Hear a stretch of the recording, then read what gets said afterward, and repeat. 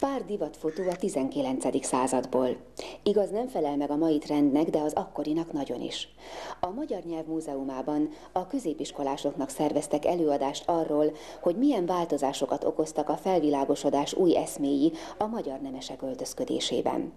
Az esemény a Testvérmúzsák Kazinci korában című programsorozat első rendezvénye volt. A Testvérmúzsák Kazinci korában című rendezvénysorozatot azért indítottuk, hogy elsősorban a diákoknak, a középiskolás iskolás diákoknak, de a témák iránt érdeklődő nagy közönségnek is adjunk egy olyan programot, ahol a Kazincival kapcsolatos, illetve a munkásságával és korával kapcsolatos legújabb kutatások közérthető formában hangzanak el. Így jutottunk el Keszeg Annához, aki egy nagyon fiatal, 30-as éveiben járó kutatónő, aki elénk tárta a Kazinci korának divatját és az ahhoz fűződő legfontosabb információkat.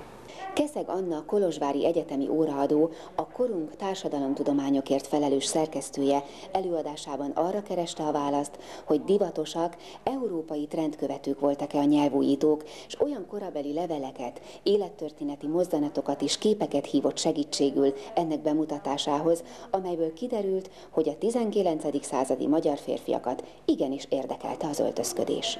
Kazinci szeretett öltözni. Ez fiatal korában fokozottan így van. Azt nagyon jól lehet dokumentálni, amikor Bécsben jár, akkor folyamatosan küld haza levelekben is információkat arra vonatkozóan, hogy hogy öltöznek a bécsiek, mik azok az anyagtípusok, amiket érdemes onnan beszerezni.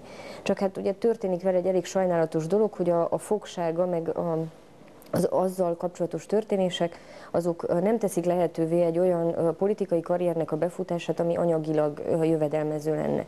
Ezért ugye a fogság után egy elszegényedési periódus következik, vagy azok a remények, amiket a karrieréhez fűzött, ugye nem teljesíthetők, és öregkorára egyre inkább visszavonul a képzőművészeti érdeklődés irányába, és öltözködni már inkább amiatt öltözködik, hogy ne szólják meg, vagy amiatt, hogy a portrékon jól mutasson. Az eseménysorozat további részeiben a 19. század zenéje, táncai és a szabadkőművesség lesznek a témák.